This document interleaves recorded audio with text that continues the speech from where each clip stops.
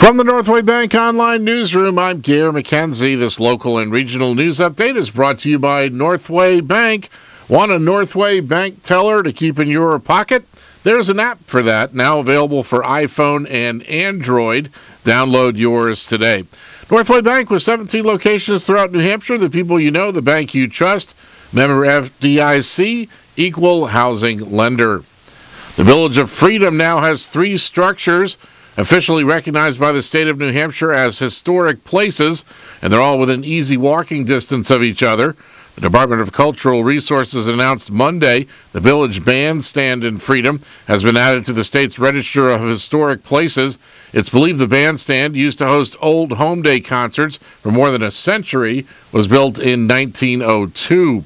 The Queen Anne style bandstand sits at the top of Schoolhouse Hill in the center of the village near the, near the 1895 schoolhouse that now serves as the town offices and not far from the roller shed near the Masonic Hall.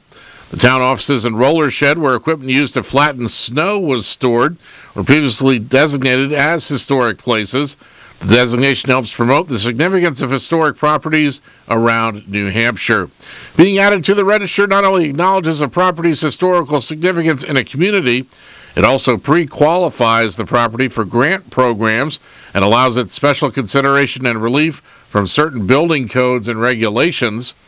Peg Scully moved to Freedom from Cincinnati, Ohio in the late 1960s and lately worked along with Gail Morris, Bob Smart, and Alan Fall on the Freedom Heritage Commission to get the bandstand designated. It fulfills the mission of freedom and the master plan that we recognize and honor the historic buildings in town. We know that they're important to the life of the town and the continuation of this wonderful place.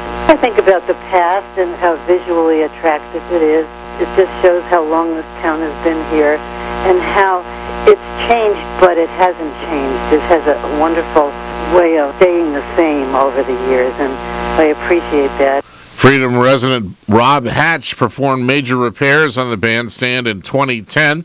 The former Red Hill House in Moultonborough, that was originally built as a tavern in 1810 and then used as a Grange Hall, has also been designated as an historic place. President Obama has approved New Hampshire Governor John Lynch's request for a disaster declaration following Hurricane Sandy. Yesterday, the president ordered federal aid be to supplement state and local recovery efforts. The money will be available to state and local governments and some nonprofit groups on a cost sharing basis for emergency work and the repair of facilities affected by the storm in Belknap, Carroll, Coos, Grafton, and Sullivan counties. Money is also available for hazard mitigation measures statewide. Though New Hampshire was spared the devastation seen in other states, the storm resulted in the fourth largest power outage in state history and the closing of numerous roads due to flooding, debris, and downed power lines and poles. In Maine news, the Maine legislature's outgoing Appropriations Committee is going to meet for the last time. The Budget Reviewing Committee will be presented today with revised figures showing smaller revenues over the next two and a half years. It's due in large part to the sluggish economy that impacts consumer spending. The lower estimates mean state government will have less money to authorize for services. The immediate $35 million shortfall could result in a curtailment order from Governor Paul LePage.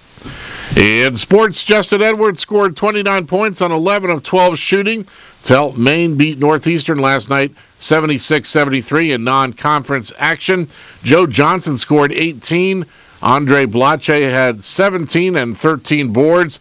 And the Brooklyn Nets beat the Boston Celtics 95 to 83 last night after Rajon Rondo was ejected following a fight in Boston. In the weather today, partly sunny this morning, then mostly cloudy, with a slight chance of snow showers this afternoon. Highs in the mid 30s, gusty winds out of the west up to 30 miles per hour. Cloudy with a chance of snow showers in the evening tonight, then partly clearing after midnight. Lows 9, 9 to 17 above. Gusty winds out of the northwest. Wind chills as low as 0 after midnight. And partly sunny on Friday. Highs in the mid 20s. From the Northway Bank Online Newsroom, I'm Gare McKenzie.